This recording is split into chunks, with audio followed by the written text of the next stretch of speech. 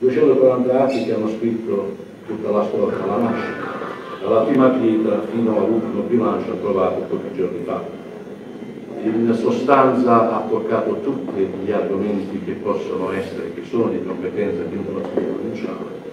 Per dirla in breve, in termini economici, noi abbiamo eh, anche eh, dato il nostro placet come consiglio provinciale a 120, a oltre 120 milioni di investimenti su questo territorio, sul nostro territorio,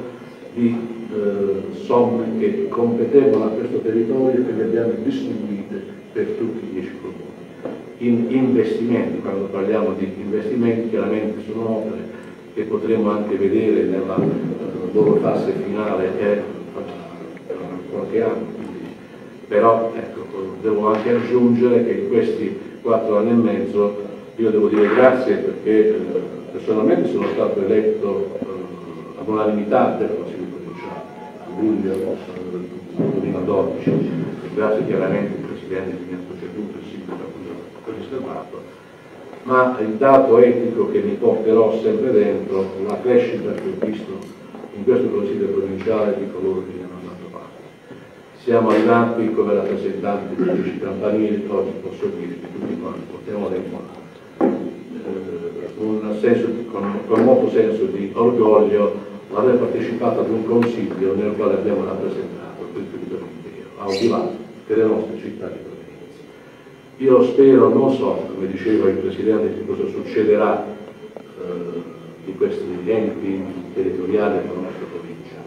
Certo eh, voglio sperare che i cittadini rispetto al 2009 abbiano acquisito una maggior consapevolezza della presenza di questa istituzione sul territorio, che ne abbiano magari riscontrato anche i benefici in termini anche di servizi, dei primati ce li abbiamo, che li lasciamo comunque alla storia e al futuro.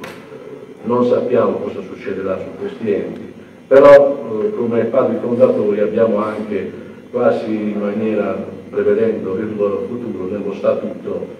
messo un articolo in cui eh, abbiamo chiamato i sindaci di questo territorio a partecipare alla concertazione amministrativa del territorio stesso. Forse potrebbe essere una delle soluzioni che il decreto in via di approvazione potrebbe portare come passaggi successivi. Forse non si voterà più, se si voterà è chiaro che eh, saremo pronti, ognuno di noi nel, nel nei ruoli politici diversi, ma con lo stesso spirito, a portare ai, ai nostri territori, ai nostri cittadini, un, un esame e un bilancio compiuto. Poi chiudo la parentesi, il costo politico di questa provincia, il costo della politica per questa provincia ammonta a 1,50 euro circa cittadino all'anno, vale a dire il corrispettivo di due caffè